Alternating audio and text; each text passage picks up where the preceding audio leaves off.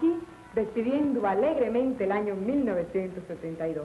Y yo creo que tengo muy buenas razones para ello.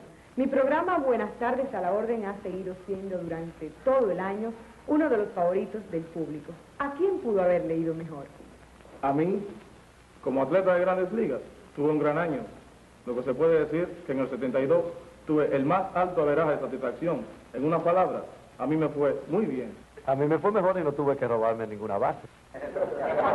Pero tuviste que luchar para robarte el aplauso del público. Es verdad, pero lo logré. ¿Y tú? ¿Lograste algo? Realicé un sueño. Transmitir por primera vez para Latinoamérica el Juego de Estrellas y la Serie Mundial, eso, les confieso, me aceleró el corazón. Tú dijiste acelerar, te metiste en lo mío. Para ganar el Gran Premio de Turismo tuve que acelerar y mucho. Pero lo lograste, Jaime. Lo que lamento es que el 72 no tenga repuesto.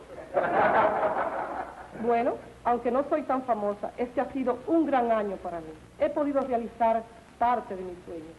Mi éxito, haber podido conservar mis viejas amistades y ganar nuevos amigos.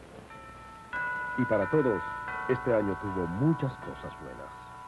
Lo importante es que las hayamos gozado juntos, en familia, todos iguales en el orgullo de ser dominicanos.